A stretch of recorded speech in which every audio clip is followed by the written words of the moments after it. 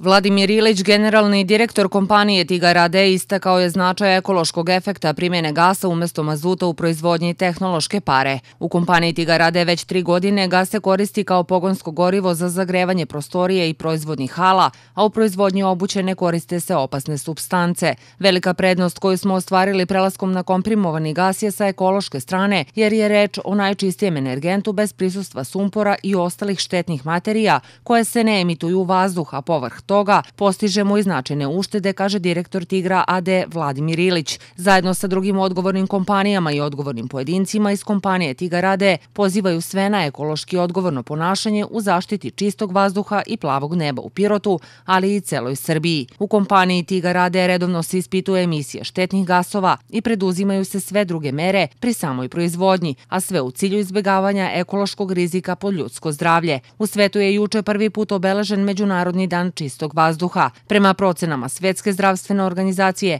više od 90% svetskog stanovništva izloženo je zagađenom vazduhu.